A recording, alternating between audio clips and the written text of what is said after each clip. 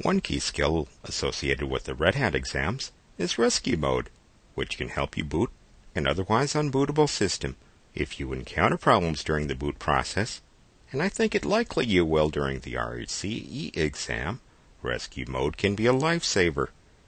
While we describe potential boot problems in other videos, a understanding of Rescue Mode is such an important skill, we dedicate this video to that skill.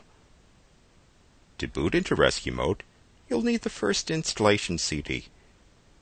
While this process also works from a boot CD or USB key configured with the files shown here, the RHCE exam prep guide explicitly states that RHCEs must know how to use the rescue environment provided by the first installation CD. So it's reasonable to expect that you'll have a first installation CD during your exam. So let's boot from that CD. Of course, when you boot from that CD, you get the starting installation screen. Instead of just starting an installation, we boot into Linux rescue mode.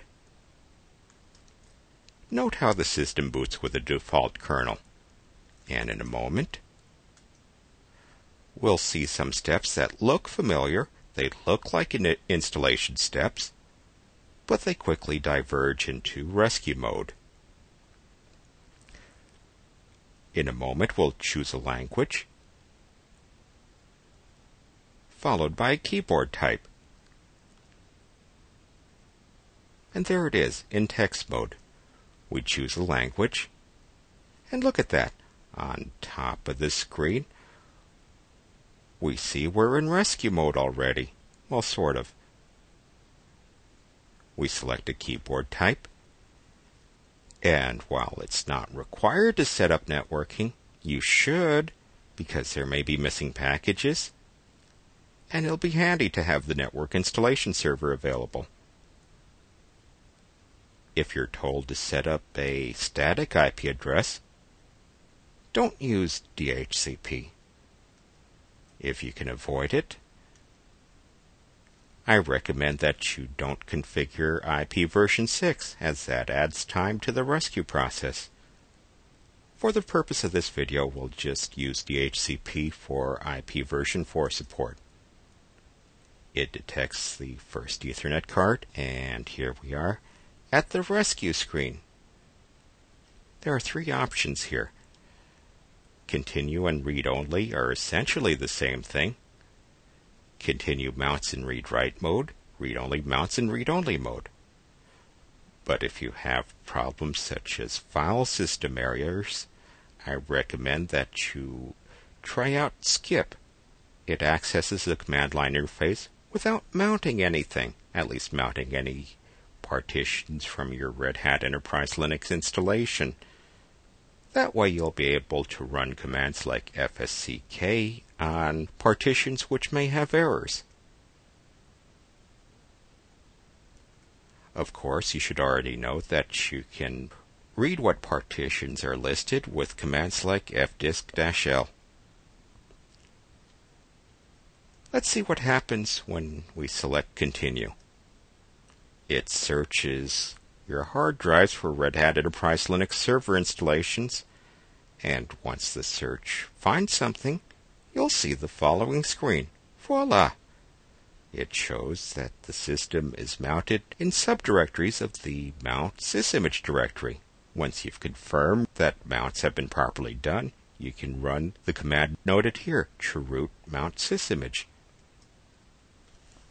I click OK I review what's mounted with the mount command.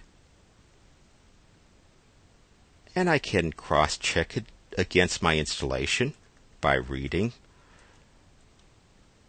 my installed fstab configuration file. It's in a mount sysimage directory.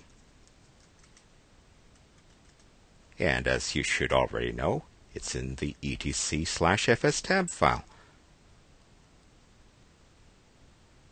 And I'll leave the cross-checking up to you. But I've confirmed it for myself, so I can run chroot mount sysimage. And now this is mounted as if I've booted normally. But going into rescue mode bypasses any problems that I may have had with missing kernels, problems with files like etc init tab or etcfs tab, troubles in boot scripts such as etc slash rc.sysinit, or even problems with X window configuration files. Now that you know how to do rescue mode, you're ready to create your own test problems, or better yet, get the help of a partner. Think of problems you can create in boot files, or the other files that I've just mentioned. But before you do that, make sure there is a backup, or at least a VMware snapshot. If you have problems changing things back, the backup can be a lifesaver. Whatever you do, try rescue mode again and again. You'll be thankful when you finally get to the RHCE exam, because knowing rescue mode can help maximize the time you have to solve any problems you encounter